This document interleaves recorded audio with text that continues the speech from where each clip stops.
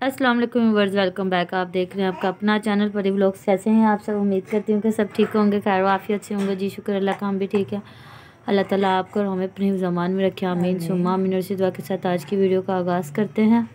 जी अस्सलाम वालेकुम रहमतुल्लाहि व बरकातहू कैसे हैं जी आप? उम्मीद करते हैं कि आप ठीक ठाक होंगे जी। अल्हम्दुलिल्लाह अल्लाह का शुक्र हम भी ठीक है। अल्लाह ताला आपको हमें हमेशा शाद रखे आबाद रखे बुरी शरतों से बचाए बुरे कामों से बचाए और इज़्ज़त वाली ज़िंदगी दे। अल्लाह ताला तो जी आज हमारी ए, वीडियो की न्यू अपडेट है कि इरम ने सुहा बाँध ली है अपनी सवारियाँ जा रही है। जी वो उनकी टिकट भी हो गई है तो वो कल की टिकट हो गई है। जी तो लैया देखे क्या सरप्राइज़ लेके गई हालाँकि परी की मामा इसको सरप्राइज़ कहते हैं।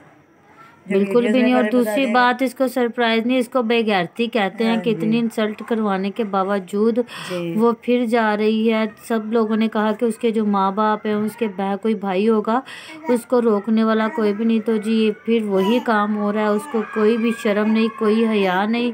तो जी वो फिर भी जा रही है। जो जी ये गली में जो शोर हो रहा है इसको इग्नोर करिएगा प्लीज़ खेल रहे हैं। जी बिल्कुल। तो जी, बिल्कुल वही बात परी कि मामा की सही बात है। देखे, जो तरबियत होती है, वो माँ की गोद होती है। माँ की गोद पहली दर्श गाय। वो आपको दिखा देती है कि ये क्या है, इंसान ये जब माँ की गोद से वो पल के जवान होता है ना तो पता चल जाता है कि इसकी तरबियत क्या है। तो मुझे समझ नहीं आ रही कि इतना कुछ होने के बावजूद फिर ये लड़की कितनी हिम्मत करके जा रही है फ्याज और महविश को सरप्राइज़।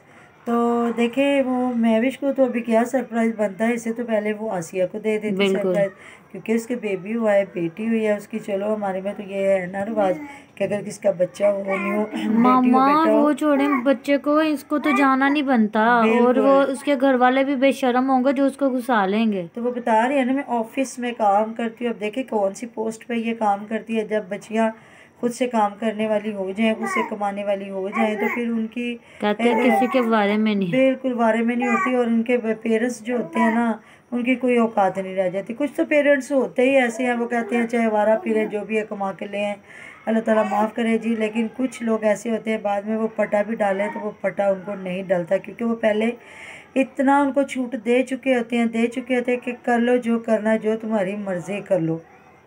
लेकिन बाद में कुछ ऐसा ये इरम उनमें से है। जी इरम उनमें से है। तो बहुत बुरी बात है। देखे जब इंसान से का किसी के साथ कोई रिलेशन नहीं ना होता तो कोई रिश्तेदारी नहीं है। देखो आप उसे भाई कह दो तो जी एक भाई है भाई बहन चलो रिश्ते मुँह बोले भी रिश्ते मुँह बोले भी आजकल रिश्ते नहीं होते। चलो बन भी जाते हैं कोई ऐसी बात नहीं है अल्लाह ताला माफ़ पर अम्मी इस तरह अपने सबको छोड़ छुड़ा के तो जाना सही बात है। लेकिन कहते हैं पाँचों उंगलियाँ एक जैसी नहीं होती बाजू का अपने भी गंदे निकल आते और बाजू का मुँह बोले भी बड़े अच्छे निकलते तो आपने एक फ़िल्म देख तो जी हम लोग वीडियो इतनी बनाएँगे क्योंकि हमारी गली में शादी है तो शादी हो रही है जी ढोल बजने लग गए हैं जी। तो ना आपको समझ आएगी ना हमें समझ आएगी। बहुत सारा ख्याल रखिएगा जी। अल्लाह हाफिज।